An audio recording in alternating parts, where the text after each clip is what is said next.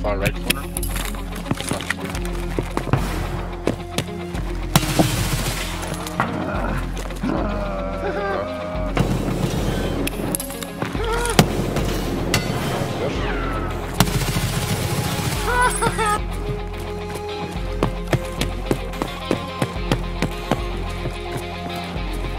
It's me elevator. Yeah, what am I doing? I'm in my office.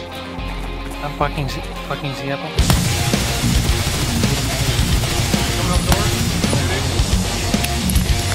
Run, run, run, run, run, run, run, run, run, run.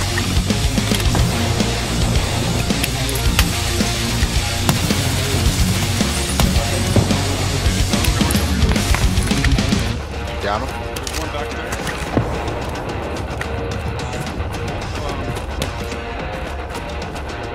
Multiple copy. Three, three fucking activation apple. Four.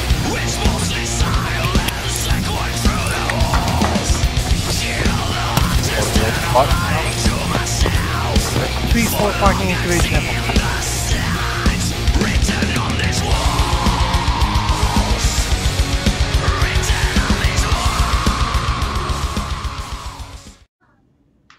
What up? I'm SHT Mike. I'm a member of Slaughterhouse Tyrants. We like running labs because all the other maps are filled with low level players doing quests right now, and there's a lot of good PvP on labs. I like playing in a squad. It takes a lot of mental brain bites to keep track of other players. That's why we have so many callouts. You can get our callouts from the Discord that's linked. The big dynamic on labs right now is you have a smaller, less experienced squad or a single player who's holed up I'm going to go through and show you some grenades and some squad maneuvers that can help you dig out these turtles that are holed up in a hot spot on the map. First off, here's my loadout. I like bringing at least 8 F1 grenades into each raid and a ton of flashbangs. Sometimes I'll bring a smoke, usually a beta backpack, where I'll put the CMS kit. I use a morphine right when I spawn. It only has a 2 second use time, so you can instead of uh, taking seven seconds for a golden star, you can just pop up morphine and get on and push that spawn. Also use an adrenaline like a panic button if I take a lot of damage. On labs, I'm using mostly F1s and flashbangs. F1s are the most deadly. Flashbangs have a short fuse and a big AoE, so you can catch your enemies slipping. RGDs, you can throw them a little bit farther than F1s, but they're less deadly. M67s, they can be thrown really far, but they have a long 5 second fuse. I don't like mixing grenades because you can't refine your distances if you miss the grenade and you have mismatched grenades.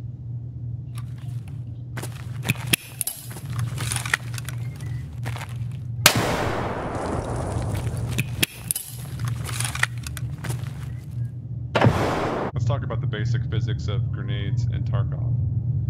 If you don't have line of sight with a detonating grenade, you don't have to worry about it even if you're taking cover behind a traffic cone. Right here, don't panic. Just step out of that blast radius and hold your position. Throwing grenades off some objects causes consistent outcomes. For example, if you throw a grenade off this duct, that grenade is most likely and most often going to land at the end of the hallway. Take a look.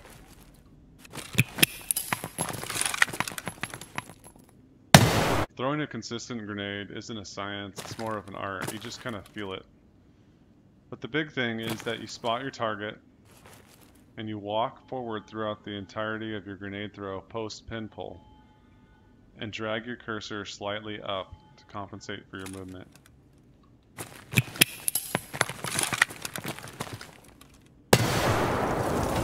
If you want to throw a shorter grenade, you can backpedal while throwing the grenade and look up to lob it.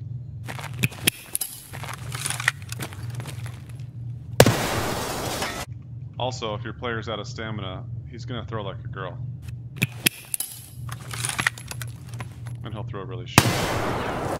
EFT grenade physics can be predictably unrealistic. If I throw a grenade off that back wall, it's almost always going to bounce left and detonate by the red oxygen tanks.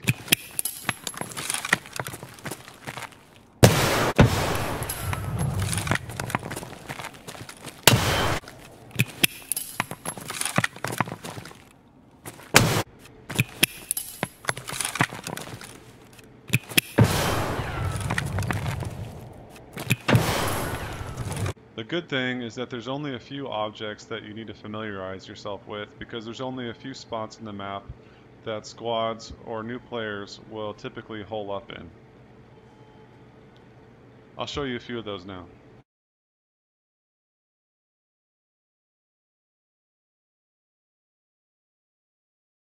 When you're assaulting server office, you want your first grenade to land somewhere over here to flush players away from double doors and this cover back towards the back server stairs, where you can shred them through the windows or with another grenade that lands somewhere around here.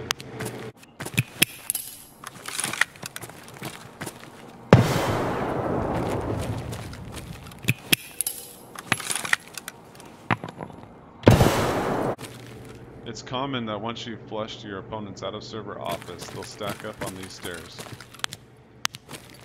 Here they have an advantage because they'll be able to strafe right, and because they'll see the tip of your head before you see theirs. It's difficult to throw a grenade onto the stairs from safety without peeking, but you can try this. Aim left of the pole, and bounce it.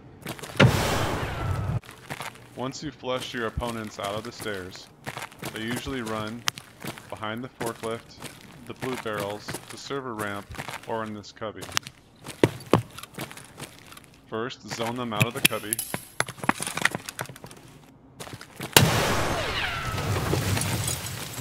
Then, with some risk, because they can see your feet, zone them off the forklift. Look down about here, hit G, and finish your grenade throw walking forward. Flashbangs allow for some unique plays since they have a short fuse. But be careful, you might blind your buddy if you miss this.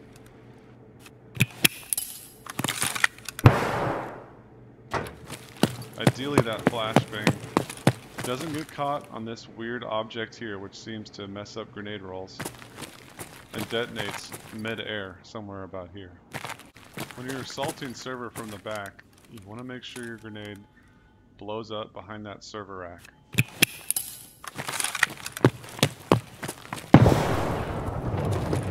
That'll keep them away from this cover spot. Medbay T is another hot spot players like to go since they chase players into medbay and then wait for them to exit. In order to dig players out of medbay T, you can go here, but it's risky. If the other player is prone, they'll be able to shoot you, but you can't shoot them. Throw a grenade over the fence. Jump up, and now you have the angle. You can also try nading from this railing.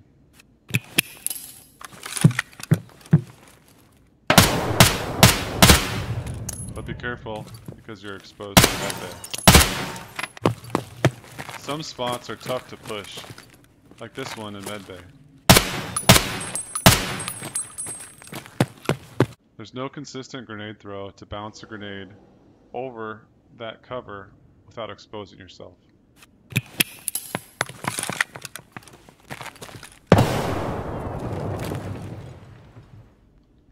Sometimes it lands, sometimes it doesn't.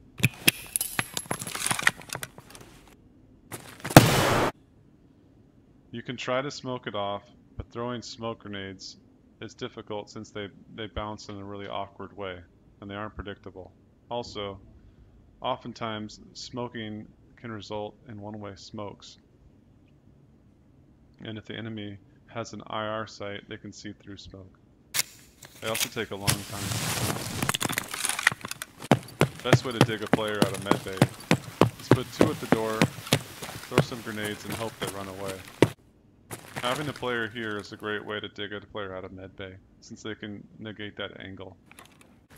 You can see it's hard to see through the smoke from this side.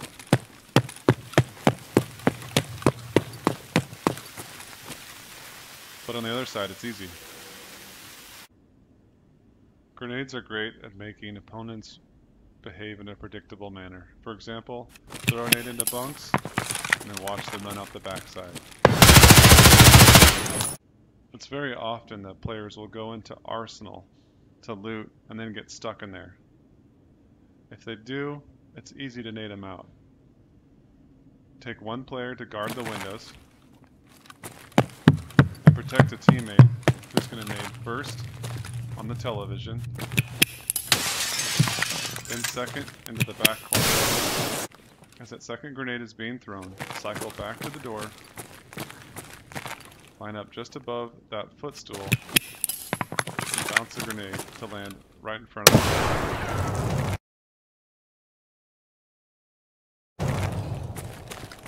It's common that players will hide inside this locked room, especially because they have cover. Another advantage of having the back wall, which is this light screen in the distance, which will backlight anybody that steps into the window or snipes from a distance. And if you're sniping from a distance, you're not going to be able to see much in here, it'll just be dark black. So once that third grenade goes off, instantly throw a fourth grenade into the room. And then you're going to check again, which you should just bullet hose. If the players are holed up inside the red keycard room, the best play is to bank a nade off the door frame, and then watch as they push out through the crack in the door, and then bullet hose their heads. Hopefully the server doesn't let you down and you don't have too many stutters.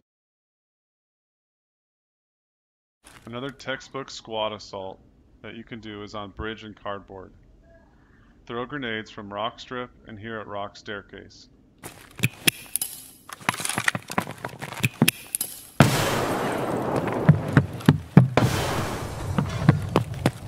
As your teammate is throwing grenades from rock staircase, your other teammate should be waiting to push cardboard box over at double dumpsters. Throw one grenade to flush out cardboard box, another to flush out players that are retreating from bridge.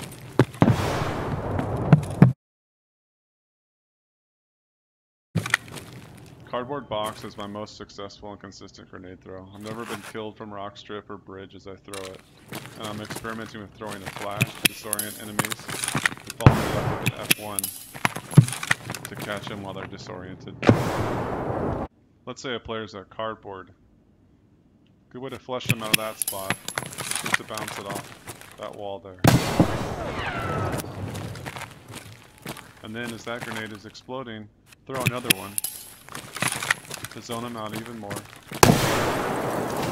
Now you're in a situation where you can right strafe, and they'll have to left strafe to fight you. Sometimes players will go up into the manager's office. As I understand it, you can shoot out of the glass in manager's office, but not into it. Also, sometimes a player will hit sit behind that desk, and it's hard to nade without getting shot. You can try this.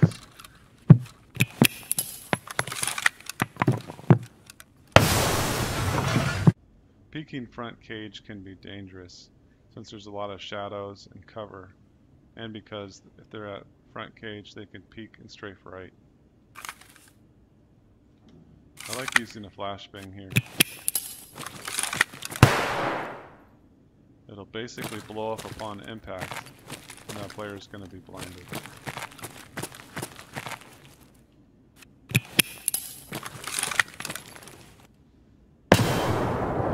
try a nade, but they'll probably be able to escape it. This cubby is another spot that players like to hide in. To nade that, go kneel, lean, and Peeking brown hallway can be made a little bit easier by changing the altitude of your head.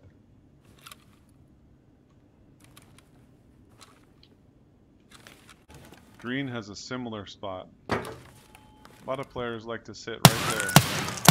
You can jump up on this box and silent strafe right.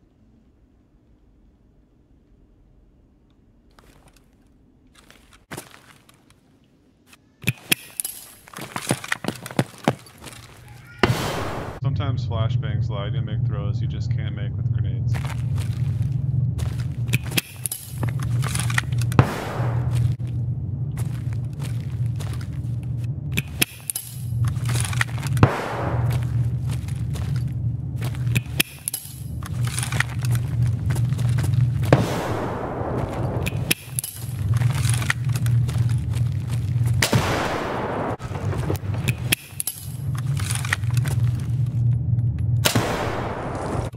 Second fuse, M67 grenades aren't great, but you can use them situationally. You can flush an enemy out, push your own grenades, and it has a 5 second fuse. Out of the way before it explodes.